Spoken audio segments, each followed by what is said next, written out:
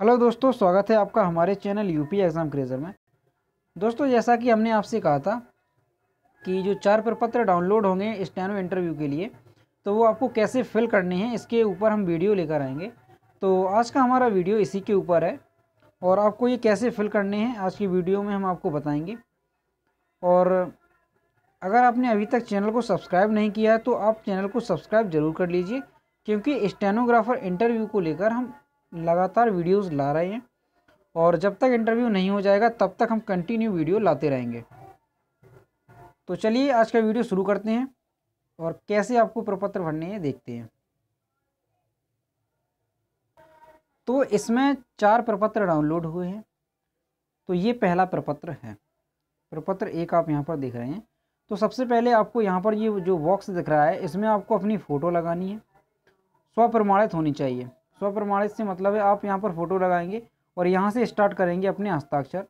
आपको अपना यहाँ पर नाम लिखना है और यहाँ से स्टार्ट करते हुए आपको फ़ोटो के ऊपर तक ले जाना है।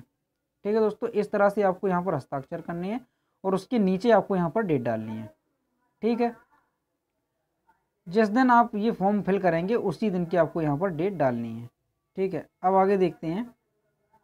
यहाँ पर देखिए, ये विभाग संख्या है, ये आपको नहीं भरनी है। वहीं पे भराई जाएगी। आगे देखेंगे। पद या सेवा का नाम जिसके लिए अभ्यर्थी आवेदन दे रहे हैं।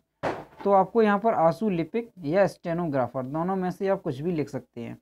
दूसरे नंबर पे अभ्यर्थी का नाम। तो यहाँ पर आपको हिंदी और अंग्रेज़ी। हिंदी में आपको यहाँ पर नाम लिखना है और जो अंग्रेज़ी में दिया गया है तो वो यहाँ पर लिख कर आएगा। ठीक है दोस्तों, यहाँ पर इंग्लिश में जब प्रपत्र आप डाउनलोड करेंगे तो उसमें इंग्लिश में नाम लिख कर आएगा। आपको हिंदी में नाम लिखना होगा। तीसरा पॉइंट है अभ्यर्थी के पत्र व्यवहार का पूरा पता। तो यहाँ पर आपको पत्र व्यवहार वाला आपको पता लिखना है। पत्र व्यवहार से मतलब होता है जैसे आप डाक, कोई डाक टिकट करते हैं या डाक करते हैं कोई कागज़ को तो जो पत्र व्यवहार यानी कि पत्र के लिए आप जो पता लिखते हैं तो वही पता आपको यहाँ पर लिखना है। जो स्थायी यानी कि जहाँ पर आप रह रहे हैं वर्तमान में, वो वाला पता आपको यहाँ पर लिखना है। और चौथा जो पॉइंट है, उसमें दिया है ग्यारह ग्राम नगर जिला तथा राज्य का नाम, जहाँ का अभ्यर्थी स्थायी निवासी है। तो इस वाले कॉलम में आपको स्थायी पता अपना लिखना है, ठीक है? अगला देखेंगे, पांचवा जो पॉइंट है, उसमें जन्म तिथि। तो यहाँ पर आपको डेट ऑफ़ बर्थ डालनी है, अंकों में और शब्दों में। डेट ऑफ़ बर्थ यहाँ पर अंकों में पहले से ही आएगी इसमें। तो आपको शब्दों में यहाँ पर डेट ऑफ़ बर्थ अपनी फिल करनी है। और डेट ऑफ़ बर्थ कैसे फिल करनी है, इसमें भी कई अभ्यर्थी कन्फ्यूज़न में रहते हैं। तो आपको बता दें कि जैसे आपकी डेट ऑफ़ बर्थ है, पाँच दस पंचानवे तो आप सीधा लिखेंगे पाँच अक्टूबर उन्नीस सौ पंचानवे। ऐसे नहीं लिखना है कि जैसे कोई सोचे कि ज़ीरो पाँच, जे वन एक ज़ीरो तो इस तरीके से नहीं। आपको सीधा लिखना है पाँच अक्टूबर उन्नीस सौ पंचानवे, या जो भी आपकी डेट ऑफ़ बर्थ हो, ये हमने एग्ज़ाम्पल आपको बताया। अगला पॉइंट है अभ्यर्थी के पिता या पति। तो ये पिता या पति के संबंध में कुछ आपको फिल करना है। का नंबर है इसमें, अभ्यर्थी के पिता या पति का नाम। तो यहाँ पर आपको पिता या पति का नाम फिल करना है। खा नंबर में अभ्यर्थी के पिता या पति का जन्म स्थान। तो यहाँ पर आपको जन्म स्थान फिल करना है पिता का या पति का, ठीक है? गाय जो इसमें कॉलम है, वो है अभ्यर्थी के पिता या पति का पता। यदि मृत हो तो अंतिम पता। तो यहाँ पर आपको अपने पिता या पति उनका आपको पता लिखना है। अगर वो मृत हैं, मृत हो चुके हैं तो उनका अंतिम पता आपको ये गाँव वाले कॉलम में लिखना है। ठीक है? आगे बढ़ते हैं। जो घास में दिया गया है, क्या पिता या पति ने कभी अपनी राष्ट्रीयता बदली है?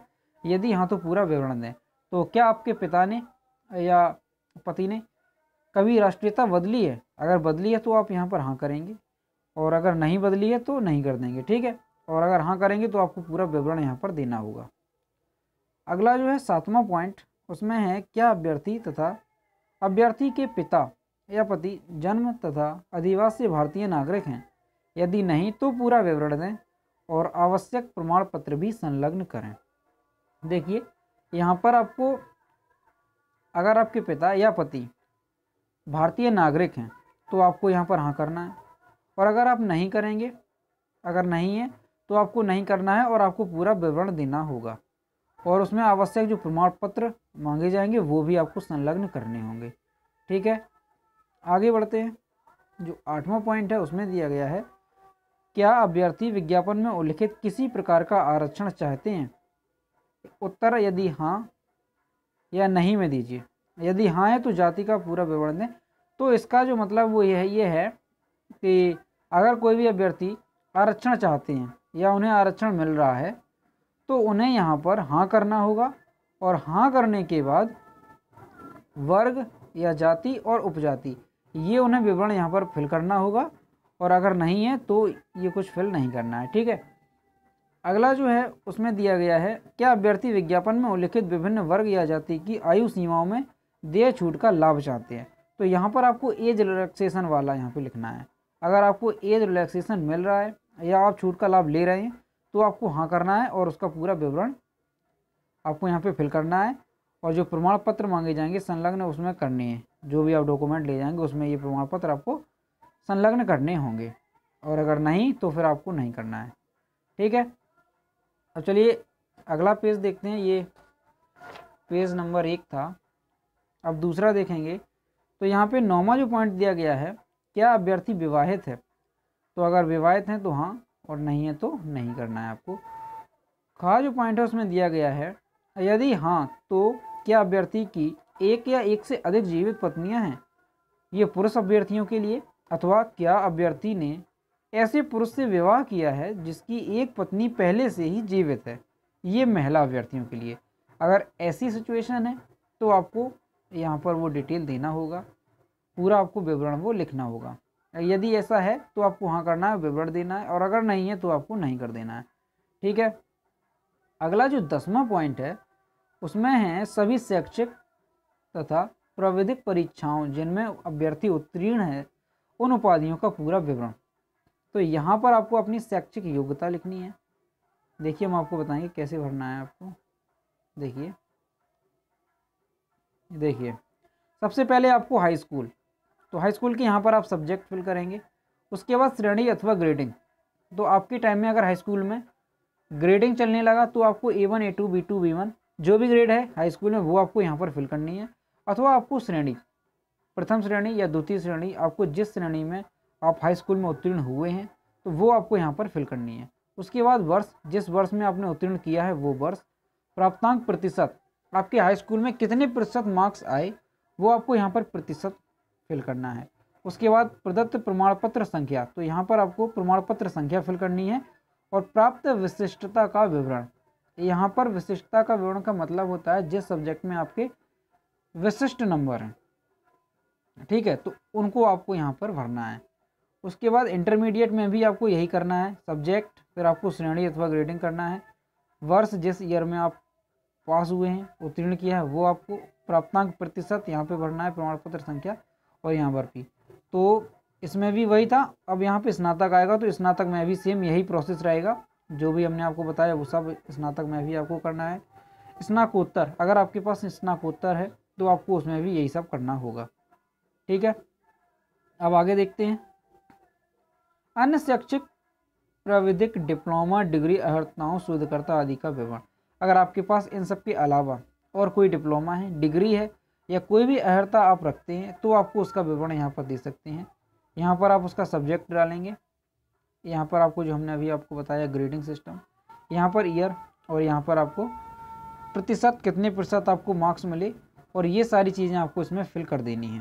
जो ग्यारहवा पॉइंट है उसमें है खेल कूद शारीरिक व्यायाम में प्राप्त प्रवीणता तथा पाठ्योत्तर कार्यों में भाग लेने का यदि कोई हो, पूरा विवरण दें तथा प्रमाण पत्र संलग्न करें। तो यहाँ पर आपको अगर कोई खेल कूद से संबंधित आपके पास सर्टिफिकेट है, अगर इसका कोई आपके पास सर्टिफिकेट है तो आपको यहाँ पर हाँ करना है और उसका पूरा विवरण देना होगा, ठीक है? और जो प्रमाण पत्र है, वो भी आपको संलग्न करना होगा इसमें, ठीक? तो ये हो गया ग्यारहवा पॉइंट अब अगला जो है, वो बारहवा पॉइंट है। अभ्यर्थी अपनी विगत तथा वर्तमान नियुक्तियों का पूर्ण विवरण नीचे दे। तो ये जो है इसमें है कि अगर कोई अभ्यर्थी वर्तमान में किसी पद पर कार्यरत है और या फिर वो पहले किसी पद पर कार्यरत था और अभी उसने उस पद को त्याग कर दिया है तो उसका इसमें विवरण आपको फिल करना है। तो यहाँ पर पद का नाम वेतन तथा वेतन क्रम यहाँ पर आपको फिल करना है। सेवा योजक का नाम तथा पूरा विवरण यहाँ पर फिल करना है। प्रवेश तिथि, आपने कब उस पद को ज्वाइन किया वो यहाँ पर आपको फिल करना है। नियुक्ति का स्थान और पूर्व पद या पद त्याग की दशा में पद छोड़ने की तिथि। तो आपने उस पद को कब छोड़ा? तो वो यहाँ पर आपको इसमें डेट डालनी है। ठीक है? अब जो तेरहवा पॉइंट है, तेरहवें पॉइंट में है अभ्यर्थी, विज्ञप्ति, अनिवार्य तथा अधिमानी अहर्ताओं से संबंधित निम्न विवरण दे। तो यहाँ पर आपको अनिवार्य अहर्ता और अधिमानी अहर्ता, यहाँ पर दोनों आपको विवरण देना है। अनिवार्य अहर्ता में क्या रहेगा? आपको हाई स्कूल सबसे पहले आप फिल करेंगे। प्रदत्त प्रमाण पत्र संख्या, जो हाई स्कूल की प्रमाण पत्र संख्या है, वो यहाँ पर आप फिल करेंगे। और उसके बाद आप यहाँ पर इंटरमीडिएट और इंटरमीडिएट की प्रमाण पत्र संख्या। और तीसरे नंबर पर जो इसमें मांगी गई थी ट्रिपल सी तो ट्रिपल सी और उसकी प्रमाण पत्र संख्या। ठीक है दोस्तों, अब अधिमानी अहर्ता में आपको क्या करना है? तो अधिमानी अहर्ता में अगर आपने सेना में कम से कम दो वर्ष की सेवा की है तो वो आप यहाँ पर विवरण देंगे उसका और प्रमाण पत्र संख्या यहाँ पर आप उसकी फिल करेंगे। या एनसीसी का बी सर्टिफिकेट आपके पास अगर है तो उसका आपको यहाँ पर विवरण देना है और प्रमाण पत्र संख्या यहाँ पर आपको फिल करनी है। ठीक है? अब जो चौदवा पॉइंट है, उसमें दिया है, क्या अभ्यर्थी ने ट्यूटोरियल सेना में कम से कम दो वर्ष की सेवा की है? तो ये अधिमानी अहर्ता होती है। यदि हाँ है तो हाँ कीजिए और प्रमाण पत्र संख्या लिखिए और नहीं है तो नहीं कर दीजिए। दूसरे में एनसीसी का है तो हाँ कीजिए, और नहीं है तो नहीं कर दीजिए। पंद्रवा पॉइंट जो है, उसमें है, क्या अभ्यर्थी को किसी फौजदारी न्यायालय द्वारा दंडित किया गया है? यदि हाँ तो पूरा पूरा विवरण दें। और जो खा पॉइंट है तो इसमें जो काम है था, अगर ऐसा है तो आपको हाँ करना है, और पूरा विवरण देना है। और अगर नहीं है तो आपको यहाँ पर नहीं कर देना है। और जो खा है, उसमें क्या अभ्यर्थी किसी राज्य लोक सेवा आयोग अथवा अन्य चयन आयोग द्वारा प्रतिवारित, यानी डिवार किया गया है। यदि हाँ तो विवरण दें। और अगर आपको किसी परीक्षा से प्रतिवारित कर दिया गया था, कर दिया गया है तो उसका आप यहाँ पर हाँ करेंगे तो आपको विवरण विवरण देना होगा। और अगर ऐसा नहीं है तो आप यहाँ पर नहीं कर दीजिए। गाँव में क्या है, किसी अभ्यर्थी, क्या अभ्यर्थी का भी राजकीय सेवा से पदच्युत किया गया है, अथवा हटाया गया है, अथवा अनिवार्यता सेवा निवृत्त किया गया है यदि हाँ तो विवरण दें, और अगर इसमें ऐसा है तो आप उत्तर अगर आपका हाँ आता है तो आप यहाँ पर हाँ करेंगे और उसका विवरण देंगे, अन्यथा आप यहाँ पर नहीं कर देंगे। अगला देखते हैं सोलवा पॉइंट इसमें दिया है, आवेदन परीक्षा शुल्क के निमित्त जमा की गई राशि का पूरा विवरण। तो देखिए, यहाँ पर जब आपने फॉर्म फिल किया था इसका तो उससे संबंधित कुछ इसमें विवरण आपको भरना है। तो का पॉइंट में दिया है बैंक का ट्रांजैक्शन आईडी या जनरल नंबर, डीयू या ई चालान संख्या।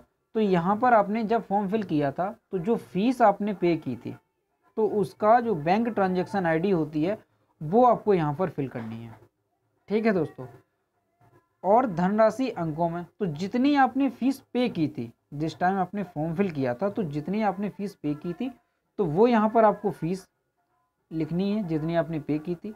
यहाँ पर आपको शब्दों में लिखना है यहाँ पे अंकों में लिखना था, तिथि, जिस डेट को आपने फ़ीस फिल की थी, जो फ़ीस आपने पे की थी, जो बैंक से ट्रांजैक्शन किया था, वो डेट आपको यहाँ पर डालनी है। बैंक का नाम, जिस बैंक से आपने फ़ीस कटाई थी तो उस बैंक का नाम यहाँ पे आपको डालना है और जनपद। जो ज़िला है आपका, जो जनपद है, जिस जनपद से आपने फॉर्म फिल किया था, और जिस जनपद में आप बैंक है, उसका आपको यहाँ पर जनपद डालना है। ठीक है? अब देखिए, अगला जो पॉइंट है पॉइंट सत्रवा। तो इसमें दिया है, यदि अभ्यर्थी अपने चयन के संबंध में आयोग को कोई विशेष अर्हता या अनुभव देना चाहे, जो ऊपर दिए गए स्तंभों में ना आया हो तो यहाँ एक अलग से विवरण दें और उसे आवेदन पत्र के साथ नथी कर दें। तो अगर किसी अभ्यर्थी के पास जो ऊपर दी गई थी अहर्ता उसके अलावा कोई अहर्ता है तो वो इसमें विवरण दे सकता है और उसे यहाँ पर विवरण देना होगा।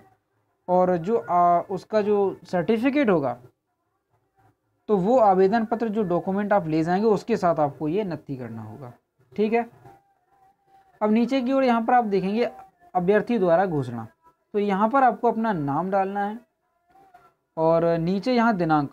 जिस डेट को आप ये जो चारों प्रपत्र हैं, ये फिल करेंगे तो वो डेट आपको यहाँ पर डालनी है। स्थान स्थान आपको यहाँ पर डालना है, जहाँ जो आपका पता था तो वो यहाँ पर स्थान आपको डालना है। अभ्यर्थी का हस्ताक्षर यहाँ पर करना है, पूरा नाम और पूरा पता। ये आपको फिल करना है यहाँ पर। आगे देखेंगे, अभी आया है प्रपत्र टू यहाँ पर प्रपत्र टू है ये। तो प्रपत्र टू में आपको क्या करना है? ये देखिए, एक नंबर है अभ्यर्थी का पूरा नाम। हाई स्कूल प्रमाण पत्र के अनुसार। तो अभ्यर्थी को अपना पूरा नाम यहाँ पर लिखना है, जो हाई स्कूल के प्रमाण पत्र में, हाई स्कूल की मार्कशीट में जो नाम है, वही आपको नाम यहाँ पर फिल करना है। अगला है, दूसरा नंबर, पिता का पूरा नाम। उपनामों के साथ यदि कोई हो तो। तो यहाँ पर आपको अपने पिता का नाम लिखना है पूरा। माता का पूरा नाम, उपनामों के साथ तो आपको यहाँ पर अपनी माता का पूरा नाम लिखना है। चौथा जो पॉइंट है, उसमें है राष्ट्रीयता से संबंधित। तो पिता की आपको राष्ट्रीयता लिखनी है, माता की राष्ट्रीयता लिखनी है। पति की, अगर आप पति को करते हैं इसमें तो पति की लिखनी है और पत्नी की इसमें है तो पत्नी कर देनी है। और जन्म स्थान पति या पत्नी का जो जन्म स्थान है, वो आपको करना है। जैसे आप पिता या पति दो में से किसी का भी कर सकते हैं तो आप अगर पति का करते हैं तो आपको पति का जन्म स्थान और पत्नी का भी जन्म स्थान यहाँ पर लिखना होगा। अगला जो पॉइंट है पाँचवें नंबर का स्थायी निवास का पूरा पता। तो आपका जो यहाँ पर स्थायी पता है, वो आपको यहाँ पर फिल करना है। गाँव, थाना, कौन सा थाना पड़ता है आपका? ज़िला कौन सा है? मार्ग या गली और मकान नंबर शायद यहाँ पर आपको पूरा विवरण यहाँ पर देना है पता का। अगला इसमें पॉइंट दिया है, यदि मूलतः पाकिस्तान का निवासी हो तो उस देश में पता तथा भारत में प्रवजन करने की तारीख यहाँ दी जाए। यदि कोई पाकिस्तान का निवासी है और वो भारत में रह रहा है। ठीक है? तो उसे वहाँ का पता, उस देश का पता लिखना होगा पूरा यहाँ पर।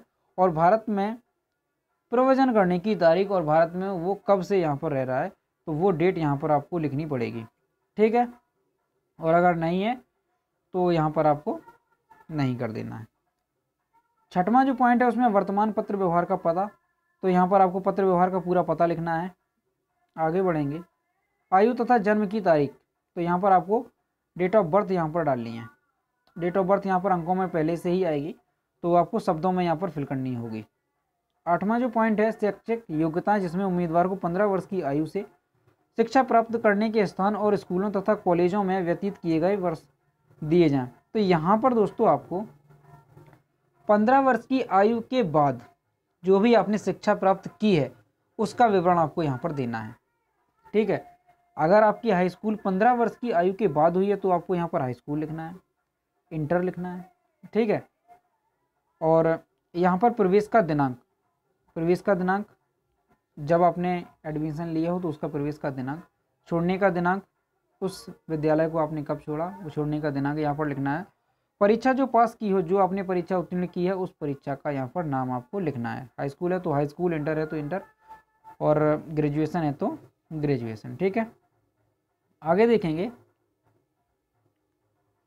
नौवा जो नंबर है, उसमें है, कार्यालय या फॉर्म के, यदि कोई हो, पूर्ण विवरण तथा पता, जहाँ उम्मीदवार ने पहले काम किया हो तो यहाँ पर आपको, अगर आपने किसी उम्मीदवार ने कहाँ, कहीं पे काम किया है पहले तो वहाँ पर तो उसका विवरण आपको यहाँ पर देना है।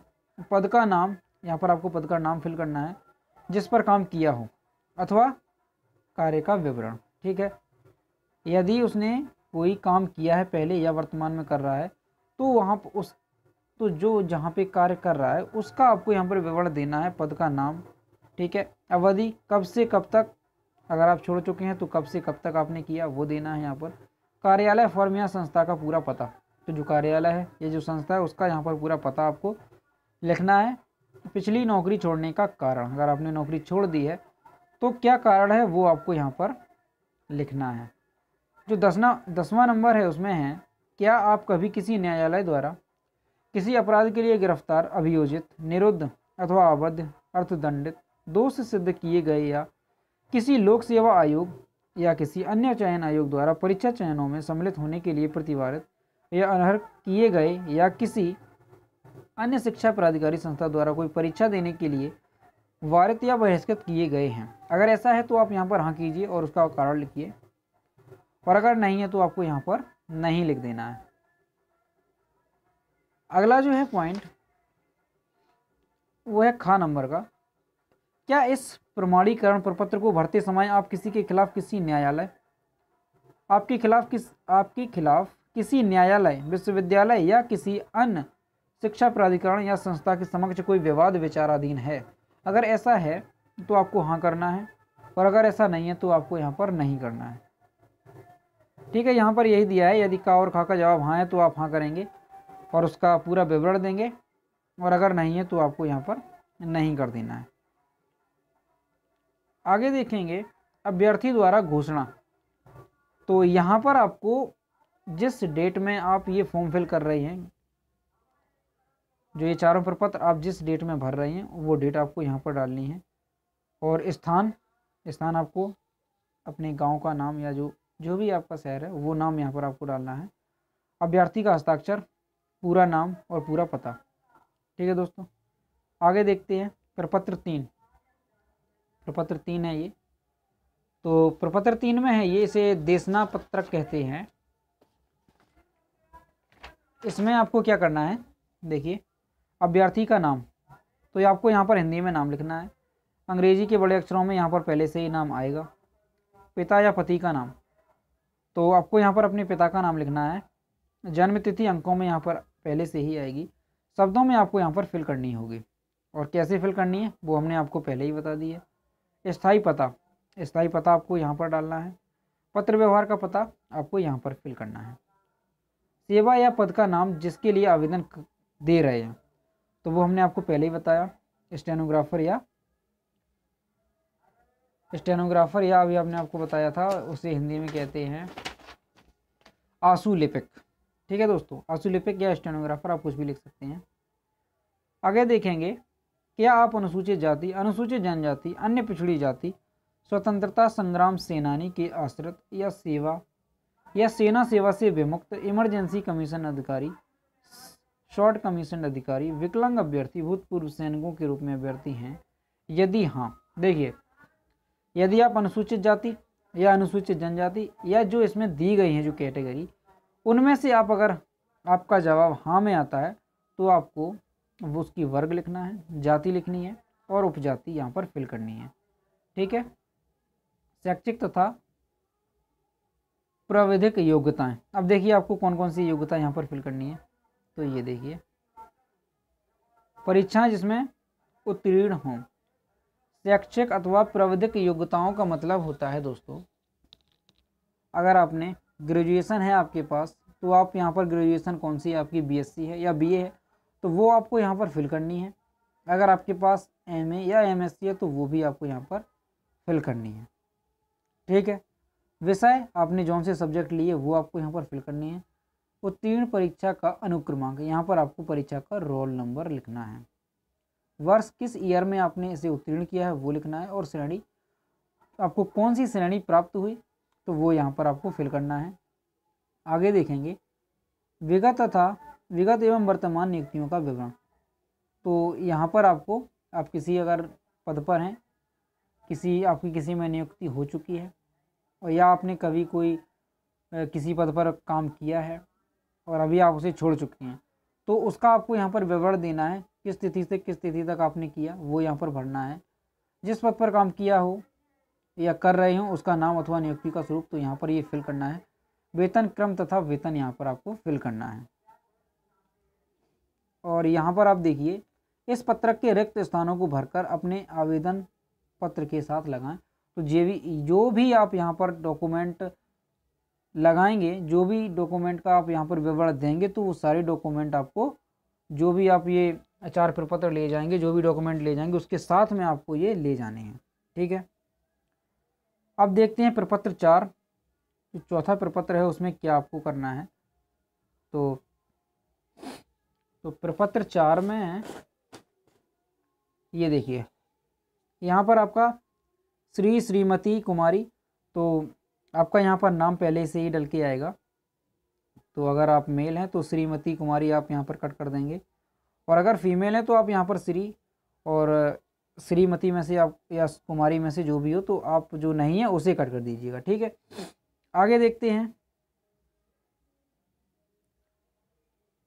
आगे यहाँ आपको जो प्राप्तांक आपके हाई स्कूल हुआ, इंटर हुआ, स्नातक हुआ और जो स्नाकोत्तर हुआ, इसका आपको यहाँ पर पूरा विवरण देना है। ठीक है? कितने आपके मार्क्स आए ये सब आपको यहाँ पर फिल करना है। तो कैसे करना है? चलिए देखते हैं। सबसे पहले हाई स्कूल तो हाई स्कूल में यहाँ पर तीन सब्जेक्ट तो पहले से ही दिए हैं, हिंदी, अंग्रेज़ी, गणित और जो भी आपने हाई स्कूल में सब्जेक्ट लिए हैं, वो यहाँ पर चौथे, पाँचवें और छठवें नंबर में आप फिल कर दीजिए। ठीक है? उसके बाद आपको यहाँ पर प्राप्तांक। जितने भी आपके प्राप्तांक आए हैं हिंदी में, जितने वो हिंदी में, जिस सब्जेक्ट में जितने प्राप्तांक हैं आपको यहाँ पर फिल करने हैं। उसके बाद पूर्णांक, जितना भी पूर्णांक था जिस सब्जेक्ट का, वो आपको यहाँ पर फिल करना है। वही आपको इंटरमीडिएट में भी करना है। जिस सब्जेक्ट में जितने प्राप्तांक, वो आपको यहाँ पर फिल करने हैं। और जो पूर्णांक है, वो आपको यहाँ पर फिल करना है। स्नातक में भी वही, जितने प्राप्तांक यहाँ पर और जितना पूर्णांक था, वो यहाँ पर। स्नाकोत्तर में भी वही, प्राप्तांक इस वाले कॉलम में और पूर्णांक इस वाले कॉलम में। और अन्य परीक्षा यदि कोई उत्तीर्ण की है, इसके अलावा भी आपके पास अगर कोई परीक्षा आपने उत्तीर्ण की है तो उसका विवरण आप यहाँ पर दे सकते हैं, प्राप्तांक इस वाले कॉलम में और पूर्णांक इस वाले कॉलम में। आगे देखते हैं। ये देखिए योग तो यहाँ पर आपको टोटल योग लिखना है। हाई स्कूल में आपके जितने प्राप्तांक टोटल हैं, आपको यहाँ पर लिखना है। और हाई स्कूल का जितना टोटल आपका जो मैक्सिमम मार्क्स यानी कि पूर्णांक होगा, वो आपको यहाँ पर फिल करना है। आगे था इंटरमीडिएट तो इंटरमीडिएट में जितने भी आपके मार्क्स थे तो वो आपको यहाँ पर फिल करने हैं। और जो पूर्णांक था वो आपको यहाँ पर टोटल फिल करना है। ऐसे ही ग्रेजुएशन का, ऐसे ही स्नाकोत्तर का ऐसे ही अगर आपके पास कोई अन्य योग्यता है तो उसका। ठीक है दोस्तों? अब यहाँ पर देखिए, श्रेणी जिसमें परीक्षा उत्तीर्ण की तो यहाँ पर आपको श्रेणी लिखनी है। आपने प्रथम श्रेणी में की है या द्वितीय श्रेणी में की है तो आपको यहाँ पर श्रेणी फिल करनी है। हर एक के लिए हाई स्कूल इंटर स्नातक और जो स्नाकोत्तर है, सभी के लिए आपको यहाँ पर श्रेणी फिल करनी है। आगे देखेंगे अभ्यर्थी के हस्ताक्षर तो यहाँ पर आपको अपने हस्ताक्षर करनी है। ठीक है? अब आगे देखेंगे। ये है जो हमने आपको बताया था पोस्ट प्रेफरेंस थंबनेल में आपने पढ़ा होगा कि पोस्ट प्रेफरेंस हमने आपको बताया तो कैसे पोस्ट प्रेफरेंस आपको करना है, उसके लिए ये आपको फॉर्म फिल करना होगा। तो यहाँ पर आपको रजिस्ट्रेशन नंबर फिल करना है, यहाँ पर रोल नंबर यहाँ पर नाम और यहाँ पर डेट ऑफ़ बर्थ ठीक है? अब देखिए आगे। इसमें विभाग का नाम तो इसमें चौदह तरह की पोस्टें हैं, चौदह विभाग हैं इसमें। और किस तरह से आपको वरीयता देनी है तो वो देखिए। जैसे मान लीजिए ये पाँचवें नंबर की है, और इससे आपको पहले नंबर पर वरीयता देनी है, ठीक है? तो आप इसके सामने वाले कॉलम में ज़ीरो वन लिख देंगे, ठीक है? इसके सामने वाले कॉलम में आप ज़ीरो वन लिख देंगे। और अगर जो ये सातवें नंबर का है, इसे आपको दूसरे नंबर में वरीयता देनी है तो इसके सामने वाले कॉलम में आप ज़ीरो टू लिख देंगे। ठीक है? आगे वाला जो कॉलम है शब्दों में, यहाँ पर आपको शब्दों में लिखना है। ज़ीरो वन है अगर तो उसके सामने एक लिख देंगे, और ज़ीरो टू है तो उसके सामने आप दो लिख देंगे। ठीक है दोस्तों? तो मतलब ये है कि जो भी पोस्ट आपको नंबर एक पर रखनी है तो उसके सामने आप एक लिखेंगे, ज़ीरो वन लिखेंगे तो जो दूसरे पर रखनी है वो ज़ीरो टू लिखेंगे, और शब्दों में आप उसके सामने शब्दों में लिख देंगे। ठीक है? आगे देखते हैं। और यहाँ पर एक चीज़ आपको एक बात ध्यान रखनी है कि कोई भी कॉलम रिक्त ना रखें।